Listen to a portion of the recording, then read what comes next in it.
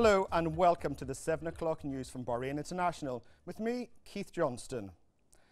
His Majesty King Hamad bin Isa Al Khalifa received today at Sakia Palace a number of families from Sitra, which comes under the framework of His Majesty's keenness to communicate and meet with the people of Bahrain in order to achieve the best interest for the country and the people.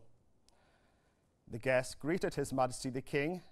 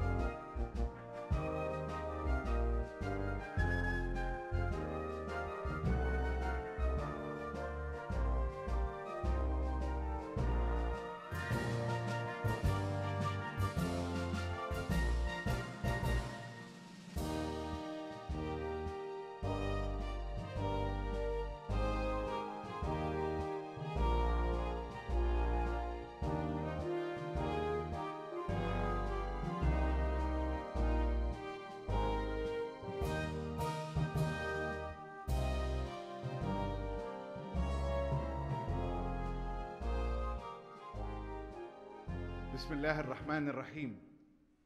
سيدي حضرة صاحب الجلالة الملك حمد بن عيسى آل خليفة ملك البلاد المفدى حفظه الله ورعاه. أصحاب السمو أصحاب المعالي والسعادة أيها السيدات والسادة السلام عليكم ورحمة الله تعالى وبركاته.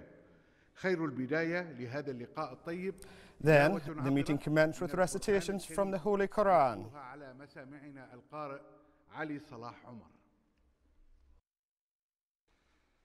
أعوذ بالله من الشيطان الرجيم. بسم الله الرحمن الرحيم. قل إنني هداني ربي إلى صراط مستقيم دينا قيما ملة إبراهيم حنيفا وما كان من المشركين قل إن صلاتي ونسكي ومحياي ومماتي لله رب العالمين. لا شريك له وبذلك أمرت وأنا أول المسلمين. قل أغير الله أبغي ربا وهو رب كل شيء ولا تكسب كل نفس إلا عليها ولا تزر وازرة وزر أخرى ثم إلى ربكم مرجعكم فينبئكم بما كنتم فيه تختلفون. وهو الذي جعلكم خلائف الأرض ورفع بعضكم فوق بعض درجات ۖ ورفع بعضكم فوق بعض درجات ليبلوكم فيما آتاكم. إن ربك سريع العقاب وإنه لغفور رحيم. صدق الله العظيم شكرا سيدي يتفضل سيدي حضرة صاحب الجلالة الملك حمد بن عيسى آل خليفة ملك البلاد المفدى حفظه الله ورعاه بإلقاء كلمة His Majesty the King delivered a speech in which he welcomed the attendees and hailed the Bahraini people's keenness to strengthen the bonds of brotherhood and friendliness. His Majesty the King congratulated the audience on the advent of the new Hijri year and wished them many happy returns and prayed to Allah the Almighty for it to be a blessed and prosperous year for Bahrain and the Arab and Islamic nation.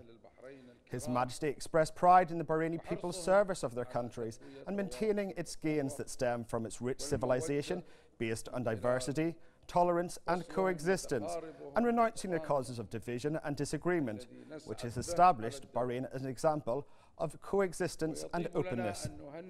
His Majesty reaffirmed that the march of development will continue in Bahrain. أن يجعلها سنة خير وفلاح على مملكة البحرين والأمة العربية والإسلامية.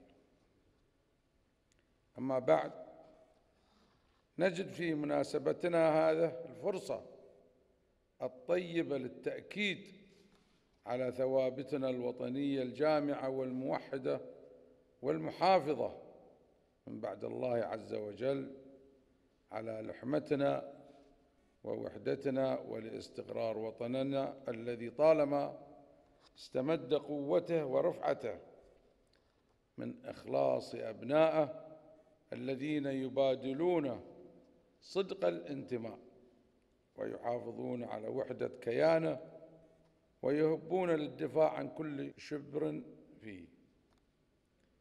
كما نجدد اعتزازنا بإجماع أهل البحرين على البذل والعطاء في خدمة وطنهم وحماية مكتسباته والحفاظ على قيمه النابعة من حضارته الثرية القائمة على التنوع والتسامح والتعايش ونبذ أسباب الفرقة والخلاف. وفي ذلك شواهد كثيرة على مر التاريخ حيث كانت الشيم والقيم البحرينية الأصيلة ولا زالت سببا حاسما في تقوية قواعد البيت الواحد وترسيخ البحرين كنموذج متحضر للتعايش والانفتاح الإنساني.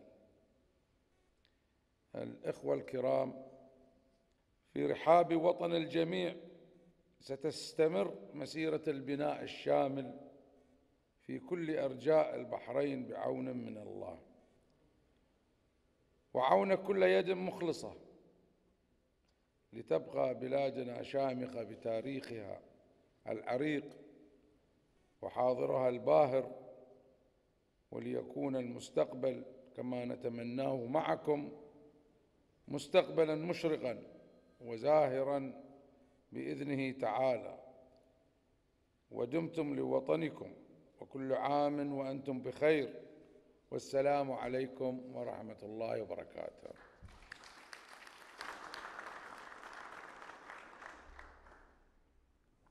His Majesty also delivered a speech addressing the people of Citra, where he noted the importance of making homes the first schools for children to teach them Bahraini values, history, civilization, traditions, and religion.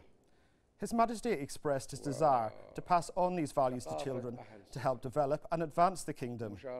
His Majesty the King highlighted the rich history of Sitra and hailed the contributions of its people to the forward march of the kingdom.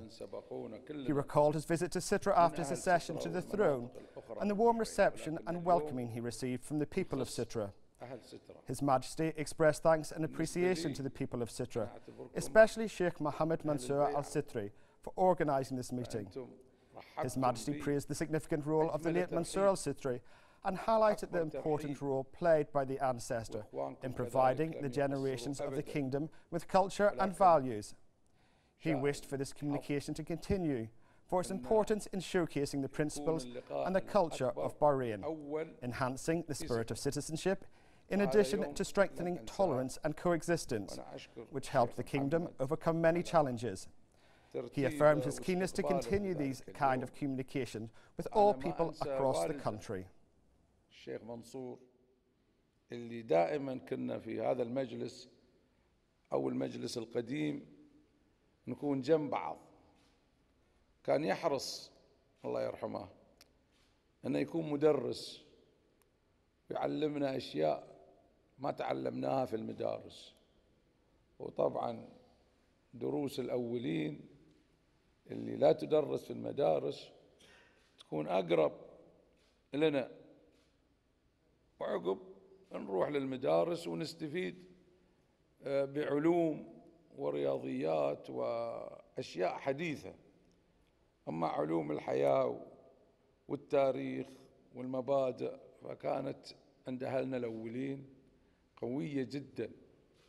أتمنى إن هذه كذلك تكون عندنا حتى نبين لأبنائنا ما هي البحرين. إيش تاريخ البحرين؟ حضارة البحرين. عادات أهل البحرين. دين أهل البحرين التعايش اللي بينهم. لأن هذا لا ما له وقت للأسف اليوم. إلا عند الأب أو عند ولي الأمر أو في البيت. فإذا كان البيت هو المدرسة الأولى فبيكون هذا أمر كبير لاكتمال شخصية الابن أو البنت. وأهل البحرين ما يقصرون يعني أهل البحرين تجاوزوا محن كثيرة بحكم علمهم وأخلاقهم وأمانتهم. وهذا الحقيقة أمر يشكر عليه الجميع في كل أنحاء الوطن الغالي. إحنا اليوم اجتمعنا بكم ورحبنا بكم فقط عشان نشوف هالوجيه الكريمة ونسلم عليكم في الواقع. وإن شاء الله بعد بنشوف إخوانكم الآخرين. بعد بنوصل لهم مشاعركم الأخوية تجاههم. وإن شاء الله التواصل يستمر وأنا شاكر لكم مرة أخرى وشكراً Former member of the Representatives Council, Abbas Al Al Sheikh, delivered a speech on behalf of the Sitra people in which he expressed honour to meet with His Majesty the King and affirmed the firm patriotic stances in facing all challenges that threaten the gains, security and stability of the kingdom. He added that these stances enhance the national unity and the social fabric and protect the kingdom from any foreign influence and terrorist attacks. He praised the role and contributions of His Majesty the King under his reform project to unite the people of Bahrain through the National Action Charter that strengthened social unity and established rights and freedoms at the top of its provisions. أصحاب السمو والمعالي والسعادة الإخوة والأخوات الكرام السلام عليكم ورحمة الله وبركاته. سيدي صاحب الجلالة بالأصالة عن نفسي ونيابة عن وفد منطقة سترة نرفع إلى جلالتكم أسمى آيات الشكر والعرفان على إتاحة هذه الفرصة العظيمة لنا للتشرف بلقائكم في قصركم العامر حفظكم الله ورعاكم. وإن هذا الأمر ليس بغريب على جلالتكم. فالمعروف عنكم قربكم الدائم مع أبناء شعبكم الوفي.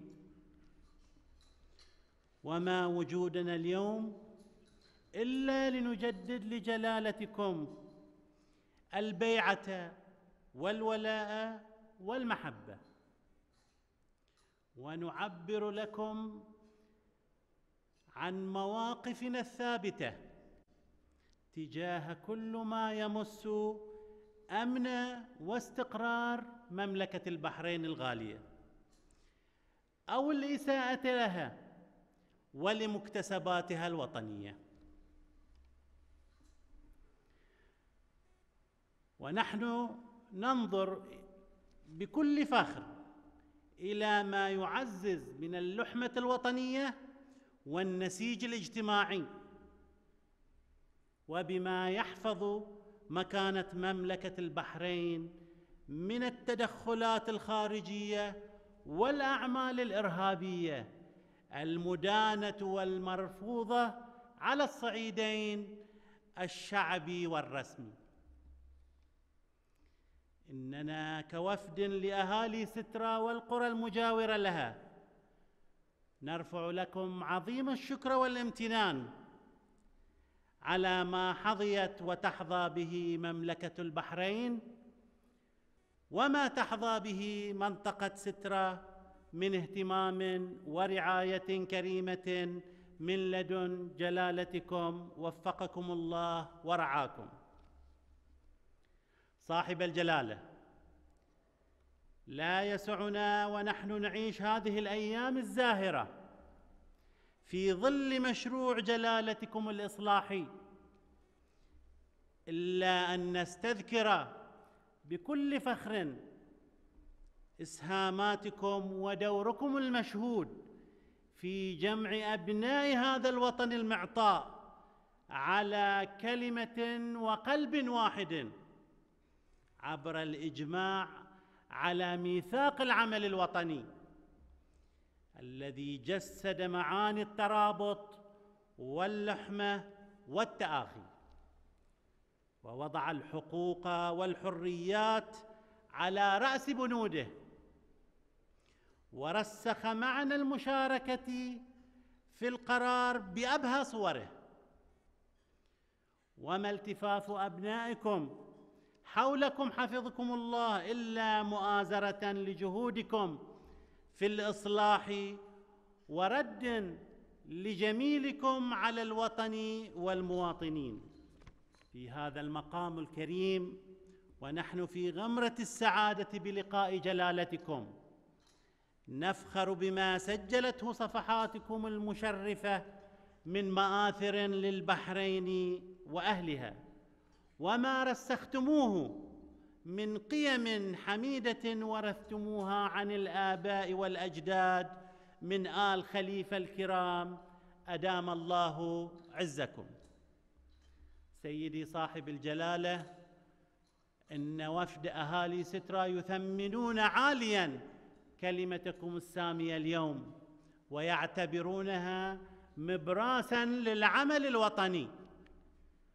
وإنما تفضلتم به من أن أهل سترة هم أهل البيعة فإننا, فإننا نقول جميعا بأنكم يا صاحب الجلالة رمز هذه البيعة. صاحب الجلالة اسمحوا لي الآن أن أقدم سعادة النائب الشيخ الدكتور مجيد العصفور ليقدم إلى جلالتكم متطلبات وأولويات أهالي منطقة سترة والمجاورة لها. فليتفضل.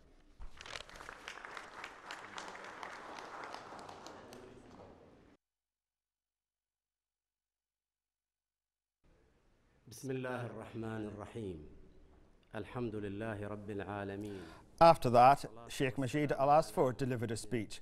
In which he highlighted the achievements of the kingdom in various fields and the continued progress witnessed thanks to the directives of the wise leadership. He pointed out the happiness of the Citra families to have received 5,000 housing units after His Majesty's royal order to establish 40,000 units across the kingdom. He valued the directives of His Majesty the King that met the need of the people of Citra. He expressed confidence that the march of progress of the kingdom will achieve the aspiration of its people and stressed the need to develop a number of health, educational, social, sport and cultural projects. He said that the responsibility of sustaining the state of advancement, providing a decent life for the citizens and preserving the cultural gains is one of the most fundamental pillars stipulated in the Constitution and the National Action Charter. He added that Bahrainis will continue to coordinate with His Majesty the King to maintain the process of development. He said that the Bahraini society is considered as one family, surrounded by tolerance and strong cohesion. He wished His Majesty abundant health and success in the progress march of the kingdom. والمعامير والعكر والنبيه صالح والقرى المجاوره وكلنا ثقة أنها حاجات محبين بين يدي ملك كريم شجاع محب لشعبه ورعيته. صاحب الجلالة إن تحقيق الإنجازات والنقلة النوعية لوطننا على مختلف الأصعدة والأوجه وما تشهده مملكتنا الغالية من نهضة وتطور مستمر على مستوى التنمية الحضرية لم يكن ليتحقق إلا بفضل توجيهاتكم وقيادتكم الحكيمة وفقكم الله. ولا يفوتنا في هذه اللحظة أن نستذكر أمركم السامي الذي أفلج صدور أبناء شعبكم بإنشاء أربعين ألف وحدة سكنية في مختلف مناطق المملكة. كان لأبناء منطقة سترة حصة كبيرة منها عبر مشروع مدينة شرق ستره الإسكاني الذي يضم خمسة آلاف وحدة سكنية. وإن أهالي سترة يا صاحب الجلالة يعدون الأيام وهم يراقبون ارتفاع البناء مع اقتراب اكتمال ما يربو على سبعمائة بيت شارف العمل فيها على الانتهاء في مجمع 609 بجزيرة سترة. وإننا ليحدون الأمل بأن تخصص أرض أخرى للمشروع الإسكاني في جزيرة النبيه صالح لاستكمال الوحدات الإسكانية للأهالي فيها. وإذ نثمن عاليا يا صاحب الجلالة توجيهاتكم السامية التي لامست حاجة أهالي منطقة سترة من أصحاب الطلبات الإسكانية القديمة في الحصول على السكن اللائق لنتوجه بالشكر الجزيل لجلالتكم.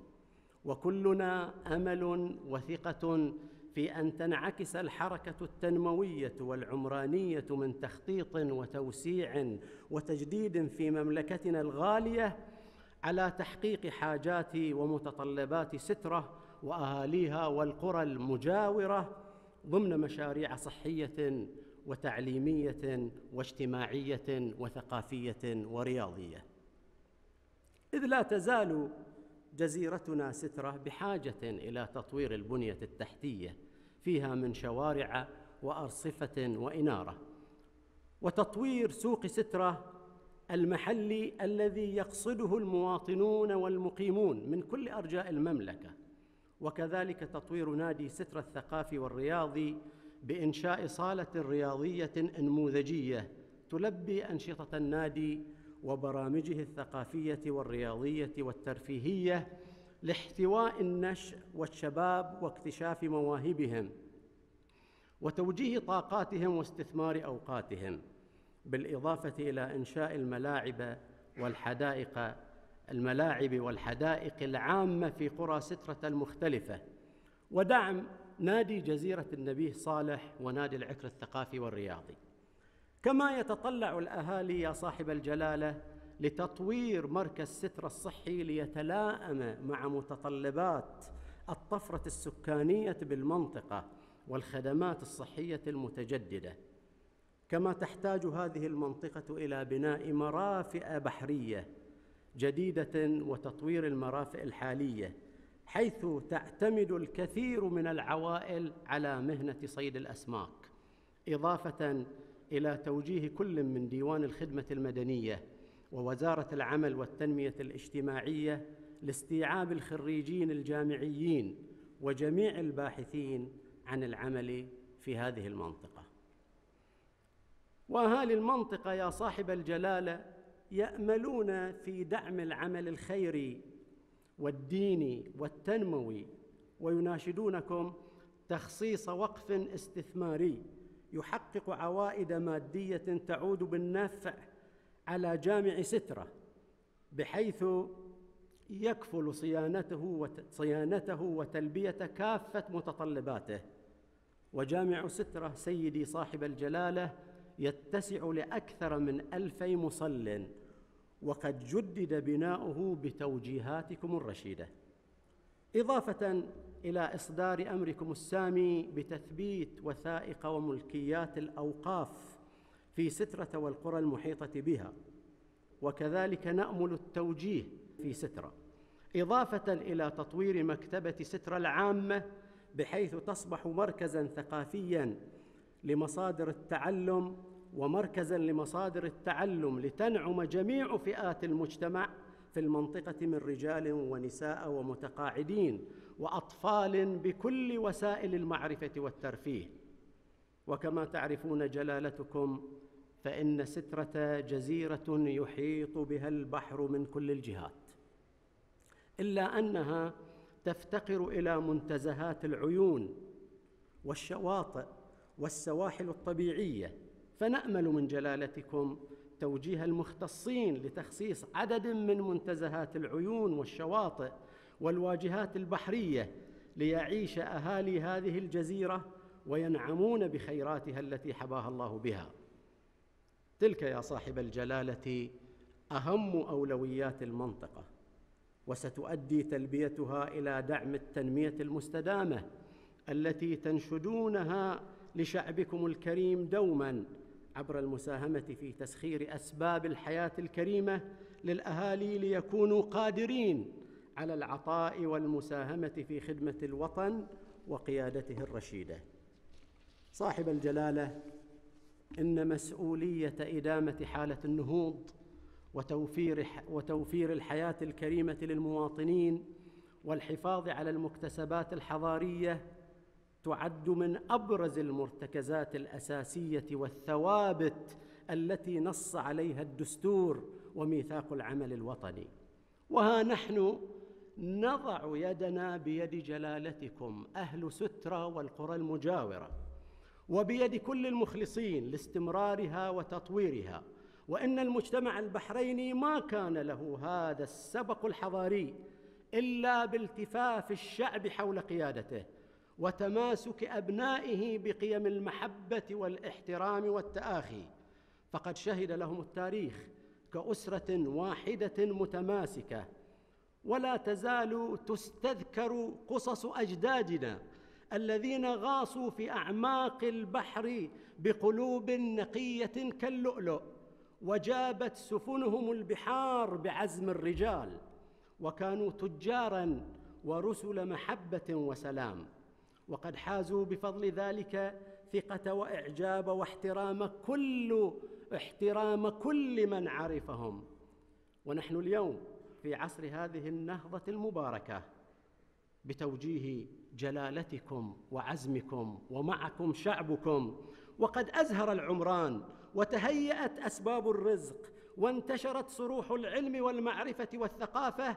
نعاهد جلالتكم على الاستمرار في مسيرة العطاء التي نهض بها الرواد الأوائل كما نعاهد جلالتكم على إبراز الصورة المشرقة المشرفة والمشرقة لوطننا البحرين.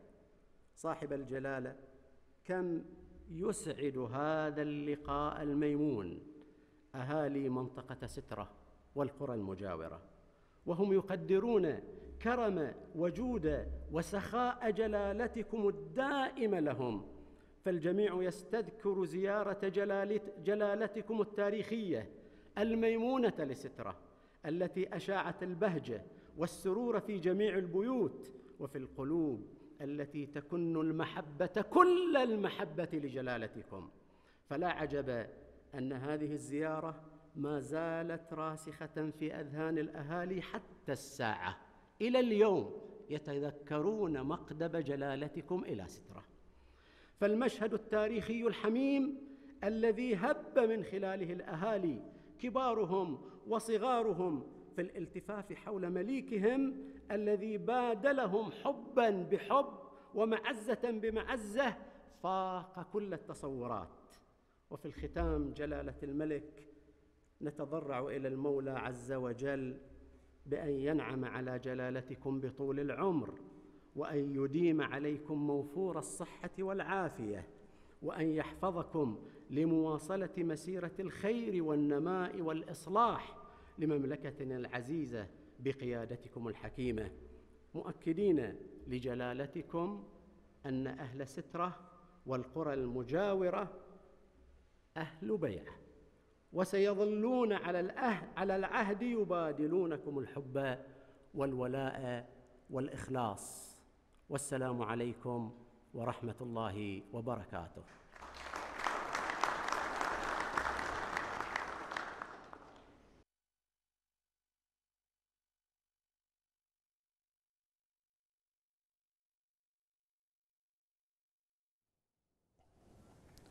The families of Sitra then presented His Majesty King Hamad bin Isa Al Khalifa with commemorative gifts.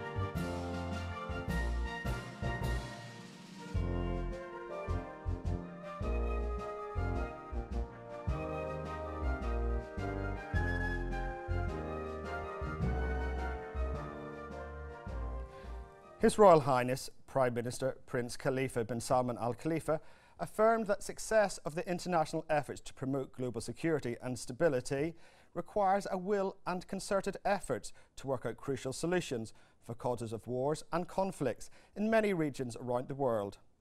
Addressing the world, marking the International Day of Peace, which is observed on September the 21st, His Royal Highness the Premier underlined the need to direct the international community's efforts towards fostering global peace and security in order to achieve comprehensive development and boost people's welfare. He pointed out Bahrain's keenness under the leadership of His Majesty the King to back collective efforts aimed at achieving international peace by honouring its international obligations or hailing all initiatives in this regard. His Royal Highness the Premier asserted that the essence of human coexistence is based in pluralism as well as cultural and civilization diversity. He emphasised that all divine religions underline the value of peace and preach tolerance within a framework that preserves dignity for all. His Royal Highness the Prime Minister said the tragedies in some parts of the world resulted in a state of instability and emergence of tragic phenomena that need to be dealt with radically to stave off imminent danger to the future of humanity at all levels. He warned of any leniency in the handling of real causes of international conflicts, pointing out the repercussions that might engender on countries considering themselves immune. His Royal Highness the Premier lauded celebrating the International Day of Peace this year by focusing it on the issue of immigrants and refugees, which he said has become a surging phenomena due to the tensions and conflicts in many parts of the world, which forced many people to flee the places where they live in search of a safe refuge. His Royal Highness the Prime Minister called to provide more support for the international organisations and the civil society institutions that are concerned with the refugees' issues to enable them to fulfil the humanitarian mission in preserving the dignity of this category of people who are suffering from the cruelty of displacement and alienation.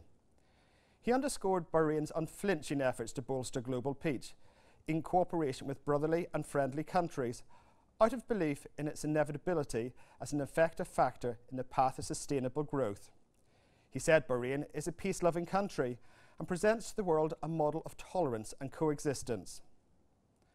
His Royal Highness the Premier affirmed the real challenge posed by terrorism to achieving global peace, stressing that eradicating this phenomenon requires not only security measures, but also protecting the youth from being misguided and influenced by radical groups.